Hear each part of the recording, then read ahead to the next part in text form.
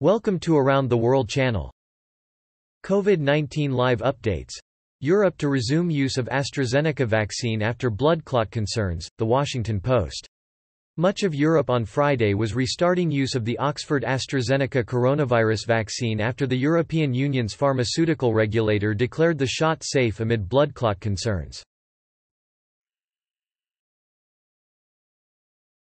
Capitol riot weapons include bear spray, fire extinguishers and baseball bats, NPR. Pro-Trump extremists clashed with police during the storming of the U.S. Capitol on January 6.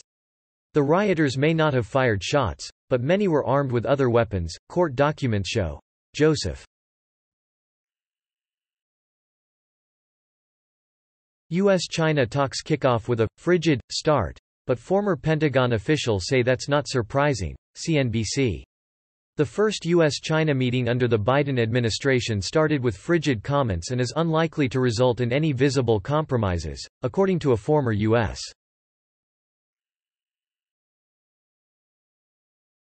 Houston area restaurant manager stabbed in mask dispute, NBC News.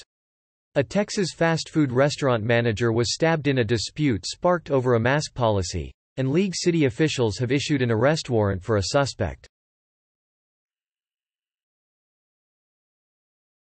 IRS Get My Payment FAQ. Track down your third stimulus check with this online tool, CNET. The IRS is sending the third stimulus checks and you can get an update on your payment.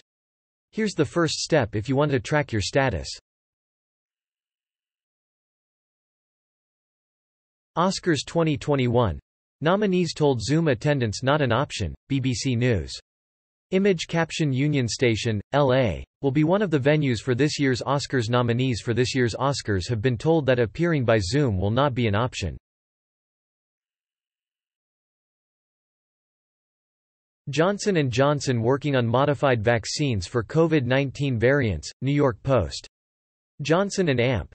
Johnson is working to develop modified versions of its COVID-19 vaccine that may be needed to protect against virus variants, a report said. It will be Armageddon. Some Democrats fear midterm backlash without filibuster reform, CBS News. When President Biden expressed support for a modest filibuster change this week, reform advocates took it as a major turning point.